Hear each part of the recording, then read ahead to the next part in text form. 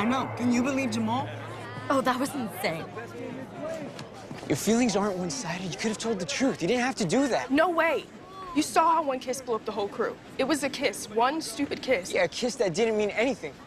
Or maybe it did. It didn't. Then why did you kiss her? We're not meant to be more than friends, Cesar. No, all I have to do is be honest and explain why you couldn't. Then they'll know the summer rumor was true and that I lied. Then just come clean. I don't understand why you can't just do that. Because you're not a girl. For you, screwing me gives you street cred. For me, screwing you makes me a whore. Not if we're together. No! Then I'm just your bitch and you're only with me for one reason. I want to be with you, Monse. And I want to be with you too, but I can't. Why? Because Olivia's right. We're a family.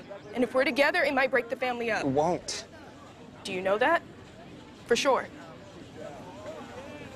Exactly. So what are you saying? I'm saying I'm good at being your friend.